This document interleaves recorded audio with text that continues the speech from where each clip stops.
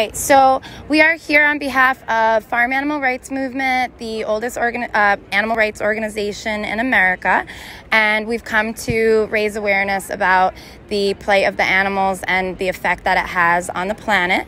And so basically, um, even if, like, you know, getting rid of fossil fuels is really important, and there's lots of other things that need to be done to help with climate change.